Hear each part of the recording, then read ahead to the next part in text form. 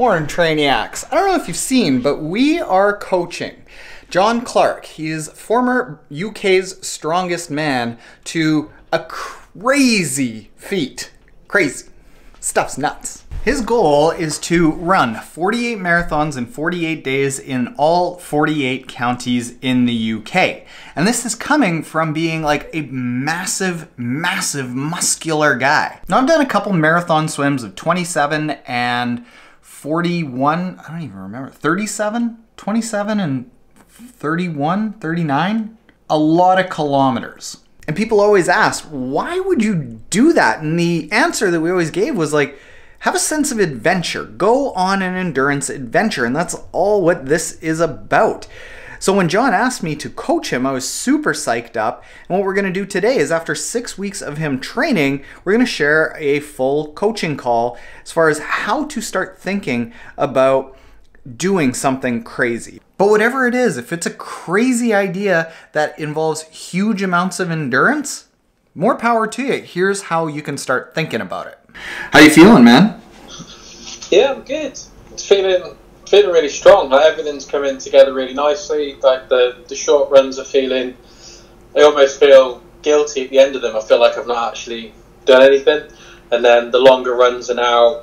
Like today was uh, ended up being nearly 16k. And again, like no tiredness, no soreness, no. I, I feel like I'm not working hard enough, if that makes sense. Which is exactly, I suppose, where we want to be.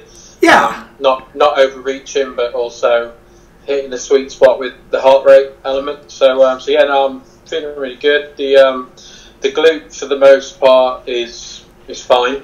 Yeah. Um, I'm getting treatment on that every couple of weeks just to keep an eye on it. But no, everything moving in the right direction. Any so I've asked you this a whole bunch of times. No niggles whatsoever in lower limbs. That's the big thing that we gotta be cautious of because you're such a big dude um, making sure that like from the top of the knee down doesn't hurt at all. You got nothing? Yeah, no, pretty much good. The only time my so the knee that forced me to retire from strongman, the patella tendon, occasionally gives me a little bit of soreness, but that's only if I'm out on the trails. I think that's that instability and more uh, sharper hills rather than just rolling hills on pavement. Um, but I'm working with my physiotherapist on that, and he's giving me some stuff to that's focusing on prevention rather than cure, just to try and keep it at bay and to make sure we're strengthening that as as we're going. But he's I've shown him the training program, and he agrees that the the heavy strength work and things like that that we're doing are, are just going to bulletproof that knee as much as we possibly can, given the the injury history with it. Yeah. But yeah, he said that there's no, there's nothing there to worry about as long as we just manage and maintain load the way that we are at the minute, and just slowly increase rather than going straight in at multi-day marathons on week seven. Yeah. I don't know who came up with that idea. um, if you do any lower leg work, like um, just what I'm, I'm thinking about is there's studies out there that are showing that like half the individuals who do an ultra marathon, which is kind of what you're doing, even though it's way less each day, uh, put together, it's basically an ultra marathon. So that's how we've got to train. Something like half the participants in a, an ultra marathon event had lower leg injuries. So we got to beef that up. If you do things on a stability ball or uh, like the, the foam blocks that people will do single leg stuff on, is that harder on your patella or does that help? Uh, that helps. A lot of the sing- a lot of the patella stuff that we're doing is kind of like isometric um, holds and using the the elevation boards and whatnot. Anyway, Okay. um, so yeah, so no, that that's all coming across, coming along nicely. There's no there's no weakness between either leg when I'm doing single limb work, and aside from my deadlifts and squats, pretty much the rest of my lower body training is single limb, um, hamstring, calf, um, posterior chain focus rather than anything kind of bodybuilding and um, Okay. strength, traditional strength, shall we Okay. say. Okay. Yeah. So I'm, I'm, very, I'm getting very upset that my quads are starting to disappear, but it's, one of those things. yeah, you're going to waste away. While in that same study, it said that having a lower body mass helps reduce the likelihood of injury and do better in ultra marathons. So you might get a little Yeah. little smaller. Well, at this rate, my calves are going to be bigger than my quads, but uh, we'll, we'll, we'll deal with that after. okay, so if you're already doing that, um, I'll probably start writing in. We've got, um, I don't know what day it is, but I wanted to have the core workout, the foundation workout, um, and then the heavy strength in there right now. What I'll probably leave in is the heavy strength because that's really good, really key right up until a couple of months out before the race when training load is really high. Um, but I'll probably start easing off of the foundation and the core workout and doing core work with a little bit more instability as well. So whatever you end up doing with your PT to to do that, just uh, if it's single leg work, if you can swap out a set or two with a foam instability uh, mat, like the the things that are like this, that Yeah, yeah. you might see me on Instagram with the kettlebells.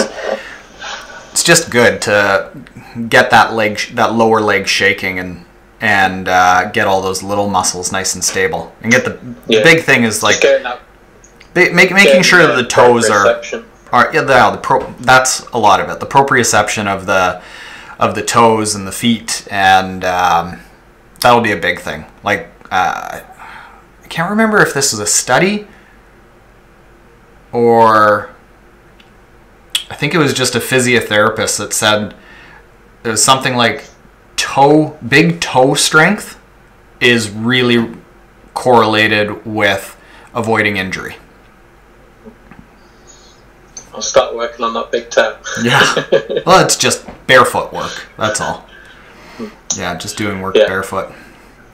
yeah, yeah, no, uh, all of that stuff we can add in, no problem, all at my end. Yeah, yeah, you got all the, the stuff for it. Um, so otherwise, like, how's uh, how's the the motivation? Fill me in. Um, it, it's good. It, the reality of the challenge is obviously as we get closer and closer and closer, the reality of it does obviously start to come more in focus. But um, I never went into it with any kind of disrespect for the distance. I always respected the distance, the challenge, and never thought it was going to be a walk in the park by any stretch. But uh, but no, motivation's high, and I think with it being so close, I mean, 20 weeks doesn't sound like a lot, but as we know, I mean, we're already six weeks in, aren't we? So, um, so yeah, no, motivation's really high. Like not missing a session, not cutting anything short, getting everything done, focusing on sleep quality and all the other little intangibles that all add up over time. So, yeah, no, motivation's good, accountability's there, and just ticking every session off one at a time. Okay, that's that's good. When you start noticing, if at all, that motivation starts to feel like a grind, which kind of might start creeping in from the sounds of things, even if you're like, you know what, I feel good, but um, like if your eyes starting to wander at wanting to do a race or a challenge in between now and the 20 weeks, that's uh, kind of a little indication that we might want to keep an eye on that. Like motivation is sort of the first thing that starts going. It's like your brain is trying to almost govern you from doing too much. So Yeah, I think keep me posted the on that. competitive nature of me likes something in in the foreground. Yeah. And although 20 weeks like is still a long time away, it's just that temptation to behave. Like I um I noticed that my Ironman entry for Ironman UK is still active, and they haven't deferred it yet for next year. Yeah. So already I was thinking that's two days before the 48, 48, 48 is due to start. So already I was like, oh, wonder if I could kick this off with an Ironman. But I was like, no, that's a silly idea. Stop. Yeah, I would be Stop- uh, stop making- closing this laptop here. Sorry, John, I'm out. I was like, stop making something already difficult even worse. So, um, so now, yeah, the, the, the laser focus is purely on on the 48. I think we've got that 46 mile trail run um, in May. But I think for me, the reason I really want to do that is not to see where I'm at physically, but just that mental toughness. I think I think we've spoken about it before. Like that mental resilience comes from practice, and to go from not having done an endurance event since November to then July the following year, I think having that something in the middle ground just to remind myself of the graft of putting one foot in front of the other when fatigued, tired, and uh, ready to pack it in. I think will be good as a as a kind of like a midpoint in the in the process. So, but now aside from that, I'll behave and not start wondering and thinking about other challenges. Well, let- let's take a look and see. I want to see here. We've got 20 weeks, but then we've got that. We had, where is it? At the end uh, or middle of April, which is three weeks before the Malvern Hills 46 mile. I was going to build you up to a like a big block of three days in a row. Yeah. So that is like two months away. Would you like to have something as a stepping stone in between now and two months from now? Have something like a mini challenge that we're building up to four weeks from now, have a little bit of a rest, and then build up to that uh, that thing at the beginning, the middle of April.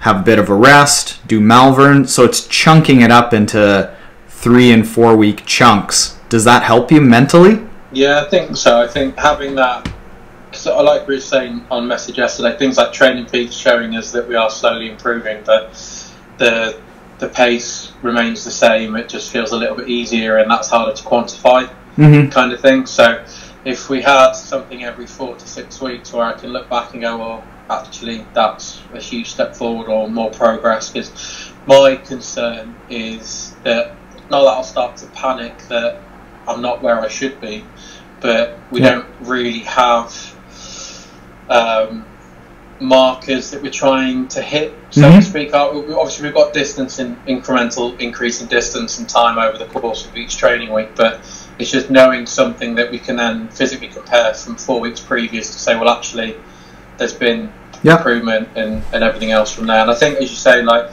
like I was saying earlier, I think because I'm competitive natured, I think having that something to really attack every four weeks as well is is definitely going to help in keeping that uh, mental resilience high and stopping the mind wandering into other stupid stuff until next year. Yeah, we can build that in. It gives us some markers for a couple of things. Yeah, number one, how does it how does it feel mentally? Um, like, does it even if if it feels like time is going by quicker? If a three hour run feels like a one hour run used to, like I, I want to get you to the point where I put a three hour run on the calendar and you're like, oh, just a three hour run. Fine. Um, and, and, and the good thing about today is like today was an hour and fifty, I think it was, and um, like previously, like last year, I'd have been looking at that, thinking about oh, I've got to hydrate, make sure I get my nutrition right, and, and prepare for it. Don't get me wrong, I'm still preparing for it, but it's I could just put my trainers on and away we go now. It's not an event; it's Yeah. just a couple of hour run. So yeah, to Good. run a half marathon right now is not something. If you said pre-trains on and go do a half an hour, cool. And that's after the two hours we did this morning. So I'm definitely getting to that point where I'm still respecting the distance, but it doesn't feel like anything that's intimidating in terms of as a one-off. Obviously doing it 48 consecutive times, but yeah. um, but yeah, there's definitely that mental resilience. Mon- Monday to Friday, I'm running on my own anyway, so there's that extra challenge in terms of just getting the hours done and the graphs done in the rain, the wind, and the the, the terrible weather we have in Grantley, not as bad as yours. Um, and then those weekend longer runs are definitely getting easier as a result. Um, so yeah, no, that um, there's definitely an improvement in that aspect. When does the weather start getting nice there? Well, it's UK, so like never. Yeah, it's the UK, so uh, August for maybe two days, Okay. and then it'll go back to normal. So now we'll, we'll start to see the the days are getting longer. Um, daylight hours are increasing, um, which helps. So now when I'm getting out early morning or later on in the evening, it's still light, which helps.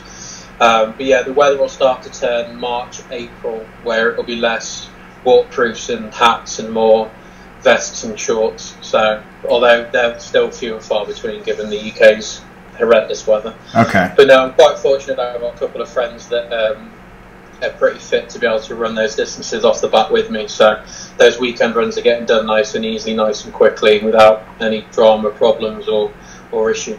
Okay. Okay. Cool. So that answers that. Weather is never great, so it's not like I've got to save big volume for any time because we'll just assume that it'll be largely the same until the race. Yeah, I think it's, it's character building anyway, isn't it? If you're getting out and running in the rain and wind, then come the summer months, summer months by the UK standard, then a Yeah. good two three hour run should be an enjoyable thing rather than a that takes you an hour before you can regain feeling in your hands and feet. But uh, Yeah.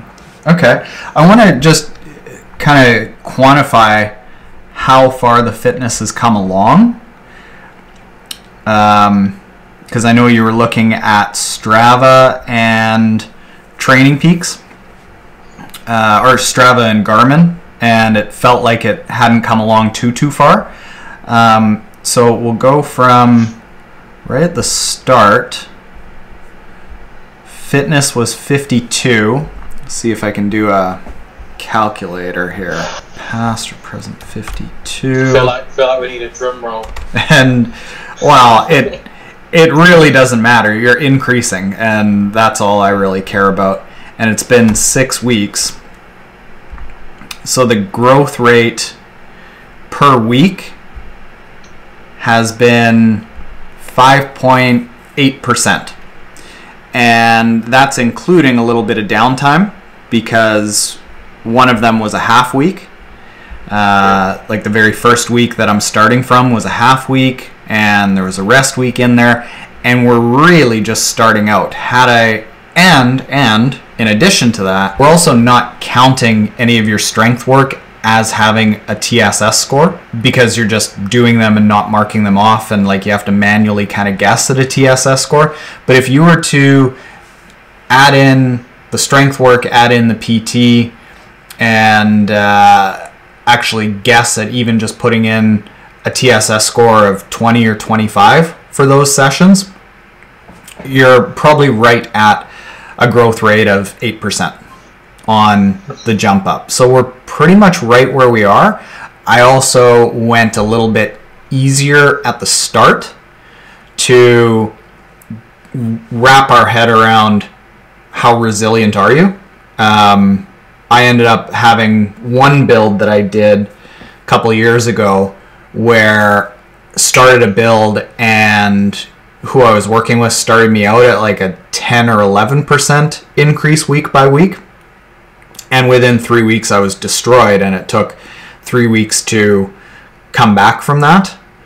Um, and it like it, not just three weeks to come back from that, but three weeks of actually losing fitness during that time. So I wanted to go at it kind of gently and then build in we'll build intensity into it as we know how much you can handle.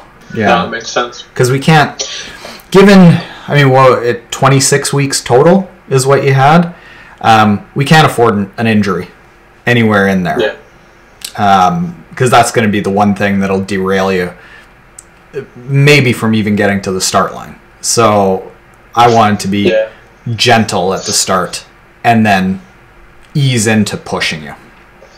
Yeah, I said that to quite a few people that I think just getting to the start line without an injury is going to be a, a major step forward. Hmm. I think the amount of training load and volume that we'll go through over the next 20 weeks to, to get that to get all the way through without a niggle or something we're worried about or something we have to manage across the course of the 48 weeks. I think that's going to be a minor miracle within itself. Um, so yeah, no, I'm completely on board with the slowly, slowly rather than go all in and get an injury and then lose six weeks and, and so on and so forth. But turning it back, question to you: Are you Mhm. happy with everything at your end? Am I doing everything that you want me to? Is there anything you want me to focus on differently? Or Only thing that I would request is if you're doing the strength sessions, mark them off as complete, just so I know. Otherwise, I think it's good. Are you entering all of your HRV data into that spreadsheet? Uh, now I've got the HRV uh, data, I do need to enter it. So yeah, I'm, I'm Okay. keeping an eye on it, and then what I'll do is I'll I'll get to the end of the week and then upload the last week ready for the next week of programming. Okay. Um, if that's okay with you. Yeah. Um, but yeah, no, I monitored, I ended up getting a Whoop band purely because I Mm. just kept forgetting, getting out of bed and completely forgetting to get one first thing in the morning. Um, so now I've got no excuses. Now I actually have it there in front of me. So yeah, I'll get that updated and then you've got that as well. Okay. Yeah, that's the only thing. Um, just so I can, I know everything that's going on because we have these chats, you know, once a week over text and like how you feeling, are there any niggles? But if I can get that full picture of did you do the strength session and that helps me understand like a 5.8% increase is actually more like a 7% increase because there's additional strength sessions. That'll help. And getting ahead of any any injuries, illnesses that you can't yet see coming up, HRV is good for that. It, I find that it's three, four days ahead of what you actually feel. So um, having that is good, and I like Whoop and I like Oura and I like HRV for training, but what they tend to do is they give you a here's your HRV today and here's your recovery today. And it like as you've probably seen, it's all over the map. Your HRV from one day to the next is wild. So it's hard to make decisions off of it. But if you can take a seven day rolling average, then it gives you a trend. Like that's a true reflection of what your body is going through. For example, you could be firing on all cylinders, having great training, super fit, feeling good, have two glasses of wine, and then the next day your heart rate variability is in the tank. That doesn't mean that you should change up your entire training plan because of those two glasses of wine. But if we use a trend, those two glasses of wine aren't going to make as big a difference. Yeah, yeah. No, I noticed that yesterday. My recovery yesterday was 95%, and then today it was apparently 15% because I had um, well, two two beers and a pint of cider last night. Yeah. So, again, for me, that that's literally not even a problem, but obviously it elevated my heart rate enough to create a 15% recovery apparently. So, Yeah. Um, Exactly. Yeah, as you say, I mean that's the way I viewed it. It was like, well, the seven day average is we're in a good spot, so no no red flags, and off we go. So Mhm. yeah, no, I'll, I'll get I'll get that updated, and then we've got that rolling trend to look at as well. Okay. Yeah, and the the rolling trend is good because what it does is it compares your 30 day average with your 7 day average. So it's basically comparing you to you as opposed to you to um, the variation of you over the last 7 days. So it's taking the last 30 days as a like here's your general level of fitness over 30 days and here's acute, acutely what you're going through right now um, and that that helps. Um, so we'll go with that.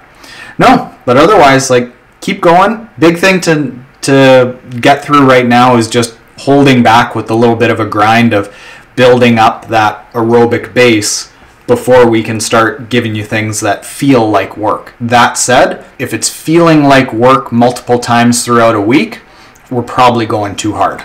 This should feel fairly boring, but I'll try to sauce it up a little bit with a, a challenge every month or so. Yeah, everything like I say, everything's just ticking along perfectly. There's no no issues, nothing really that's particularly difficult, other than obviously the interval sessions where you put in a little bit more effort rather than just kind of like zone two work. But yeah, no, I'm really happy with how it's going.